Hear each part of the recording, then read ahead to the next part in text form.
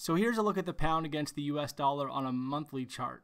And if we look at this chart, we can see just how strong the performance was in 2017 after coming off that plus 30 year low in October of 2016, with the market finally starting to uptrend and then rocketing higher in January of 2018. And so overall, the price action has been quite constructive. The pullback that we've seen, this intense pullback over the past several days, well, it's only taken us back to those levels that we were at late 2017 and right around the closing levels of 2017 at 135. Overall, when you look at the weekly chart, this market is still in a well defined uptrend. And as per that Ichimoku cloud on the weekly chart, you can see that the market is well in that uptrend and well above the cloud to keep it in that uptrend. And so the direction should continue to be for the market to look to push higher.